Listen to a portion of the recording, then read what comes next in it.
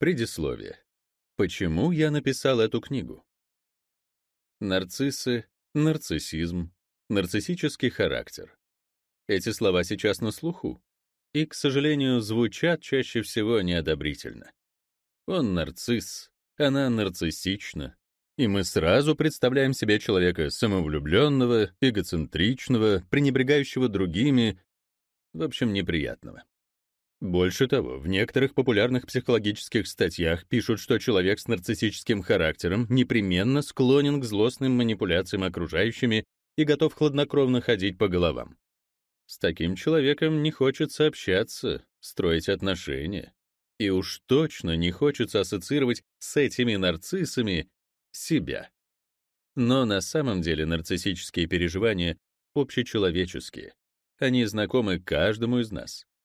Все мы порой страстно желаем поднять самооценку, оглядываемся на мнение других о себе, испытываем стыд за собственное несовершенство. Мало того, нарциссизм — это необходимая часть любой личности.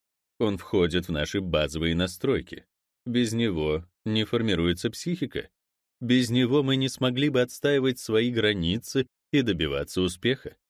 Мы все в раннем детстве проходили так называемую нарциссическую стадию. Правда, не все, по разным причинам, о которых расскажем позже, смогли из нее полностью выйти. В результате для кого-то нарциссические переживания — одни из главных. Среди нас много людей, характер которых организован вокруг проблем самооценки, а та, в свою очередь, базируется не на внутренних ценностях, а на оценках окружающих. Это и есть нарциссический характер, и его не стоит демонизировать. Нарциссическая личностная доминанта характеризуется прежде всего сильнейшей уязвимостью к чувству стыда и собственному нормальному несовершенству. Там, где один просто пожмет плечами, да, все мы не идеальны, другой испытает приступ стыда, спастись от которого хотя бы на время можно лишь путем непрерывного поиска и запроса оценок от окружающего мира. Нарциссическому человеку нужно, чтобы эти оценки были максимально высокими. Но даже пятерки с тремя плюсами радуют его недостаточно сильно и часто ощущаются как фальшивые и незаслуженные. Это потому, что ставит он их себе не сам, и подлинные внутренние ценности за ними не ощущает. Глубокие корни нарциссизма именно в том, что нарциссический человек не может дотянуться до своего подлинного «я». В начале второй главы аудиокниги мы поговорим об этих корнях и о том, как их исследовали ученые, начиная с Фрейда. Проблемы самооценки, совершенства, зависти, стыда и другие переживания нарциссического круга всегда глубоко волновали меня самого. Проходя личную терапию, необходимую любому психотерапевту, я много работал со своими нарциссическими чертами, смягчая их и стараясь сделать так, чтобы уменьшить и собственный дискомфорт и влияние этих черт на близких мне людей. Так часто бывает. Сначала помогаешь себе, а потом, уже из новой позиции, протягиваешь руку другим. Возможно, именно потому, что в молодости я очень переживал из-за самооценки, стремился к идеалу, невольно обесценивал других и часто испытывал мучительный стыд, я знаю, что нарциссизм — это не ярлык и не клеймо, а просто одна из внутренних проблем, с которыми может столкнуться человек. Проблема не самая простая, но преодолимая. В ходе психотерапевтической практики мне доводилось видеть удивительные изменения.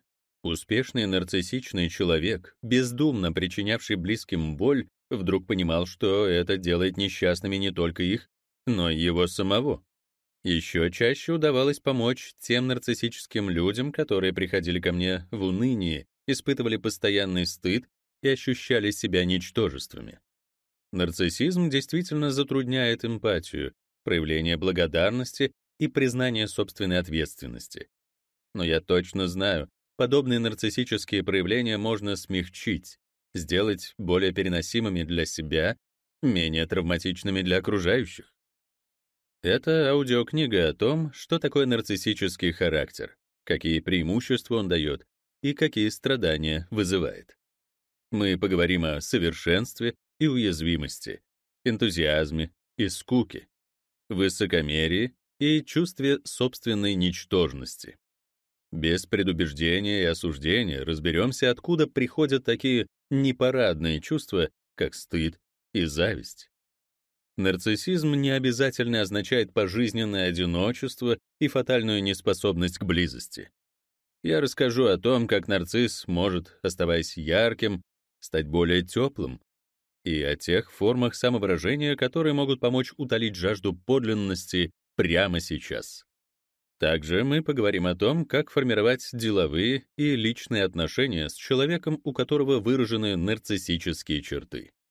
Мы будем копать глубоко, чтобы слушатель, замечающий у себя черты нарцисса, понял, в его силах уменьшить нарциссическое страдание, снизить зависимость от оценок и сравнений и зачерпнуть, наконец, чистую воду из колодца своей аутентичности, собственного подлинного «я».